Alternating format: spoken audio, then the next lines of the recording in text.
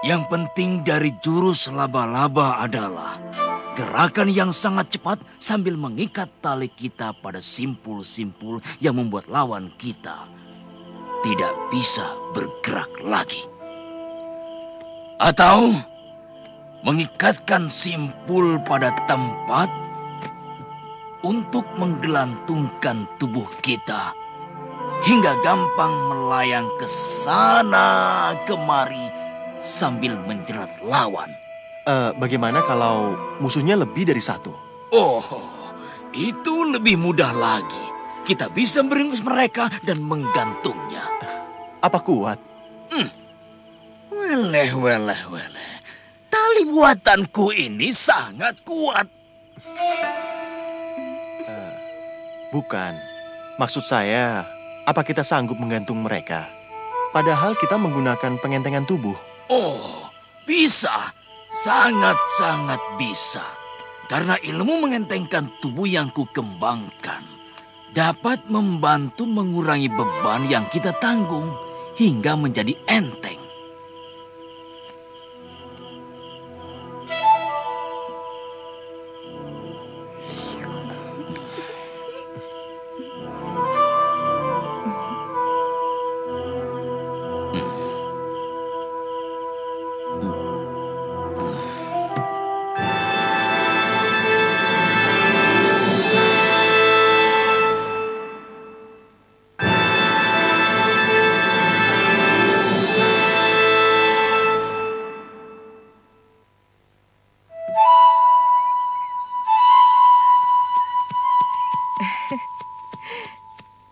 Sekar?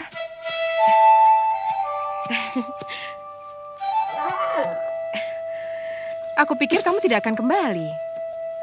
Maaf, Guru. Sekar agak terlambat. Bapak tidak ada di rumah, Guru. Makanya Sekar tunggu. Jadi sudah ketemu? Kata pembantu rumah, Nyilangsep, Bopo sedang pergi ke Daha.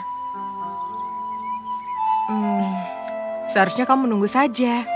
Aku kan tidak menyuruh kamu cepat-cepat kembali. Sekar tidak betah, Guru. Sebagai pengantin wurung, Sekar merasa direndahkan. Pemuda-pemuda desa seolah berhak untuk menghina Sekar seenak mereka. Hmm, jadi kamu diam saja, malah kembali kemari? Saya mengajar mereka, Guru. Hmm. Saya suruh mereka minta ampun hmm. sambil bersujud di depan kaki saya. hmm, tapi hmm, saya yakin mereka hanya takut di depan saya saja, Guru.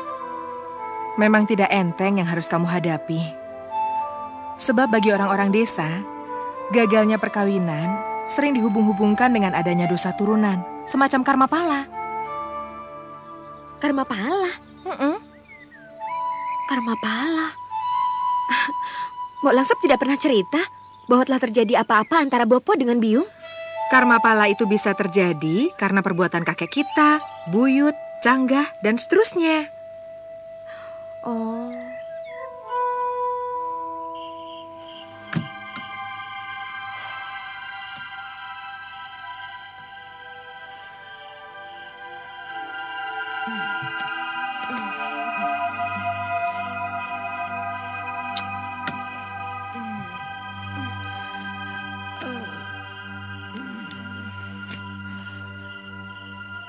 Kenapa sih Kakang? Dari sore cemberut terus. Apa Woro berbuat salah, Kakang? Kalau Woro punya salah, mungkin ladenan Woro kurang berkenan di hati Kakang. Woro minta maaf. Bukan kamu yang salah, Woro.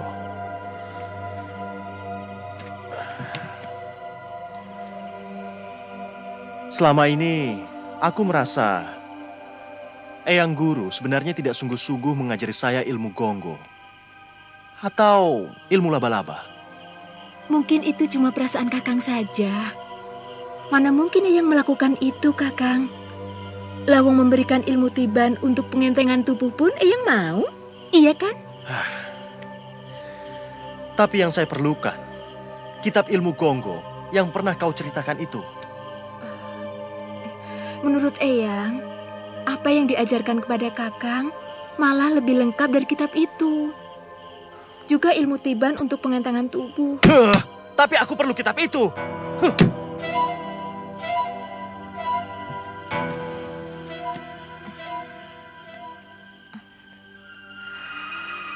Saya pernah melihat Eyang membawa kitab itu ke gua Selokalong, Kakang. Mungkin di sana disimpannya.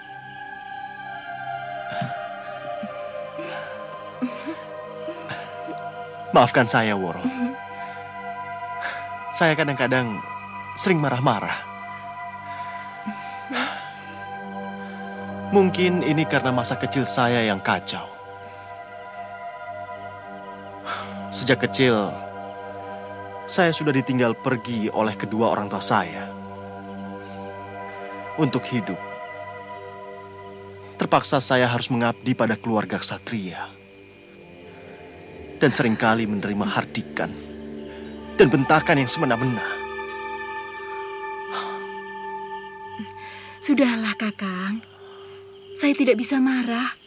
Apa pun yang Kakang lakukan kepada saya.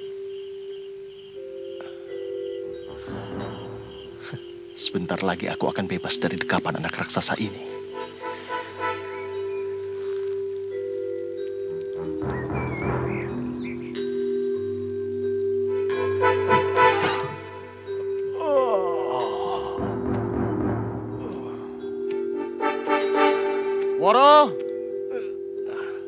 Rebuskan aku air panas untuk mandi. Badanku terasa ngilu. Sebentar, Kakang. Minum bedang dulu. Sarapan paginya sudah saya siapkan di amben tengah. Aku mau mandi dulu. Jangan mengatur kebiasaanku. Iya, sabar.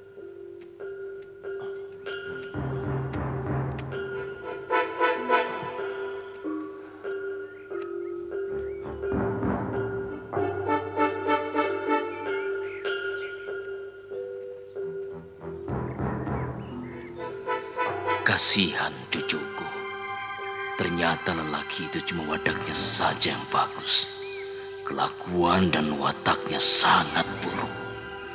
Orang seperti itu bisa tega membunuh istrinya sendiri tanpa sedikit pun menyesal. Dia juga bisa tega membunuhku.